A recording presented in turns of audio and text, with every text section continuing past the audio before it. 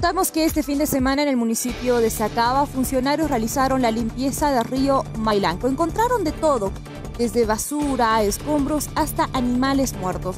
Por eso que piden mayor conciencia a toda la población. De esta manera, este sábado se procedió a realizar una campaña masiva de limpieza en el municipio de Sacaba a lo largo del río Mailanco. Decenas de funcionarios públicos trabajaron por casi toda la jornada levantando todo tipo de residuos sólidos que inescrupulosos depositan en las laderas de este río. Bueno, el día de hoy estamos realizando una actividad de limpieza a orillas del río Mailanco, precisamente en las OTBs 27 de mayo hasta Colinas de Andalucía, con tres puntos de trabajo. Según las autoridades municipales, aún la población no toma conciencia y bota su basura donde les viene en gana, incluso a sabiendas de las multas que existen.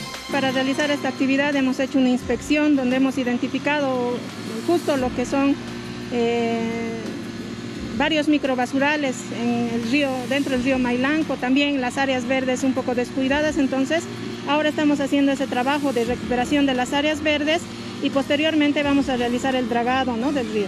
El río Mailanco, por la gran cantidad de basura al momento, es considerado uno de los ríos más contaminados que existen en Cochabamba, pues más allá de la basura también existen conexiones clandestinas de alcantarillado cuyas aguas residuales son depositadas en este lugar.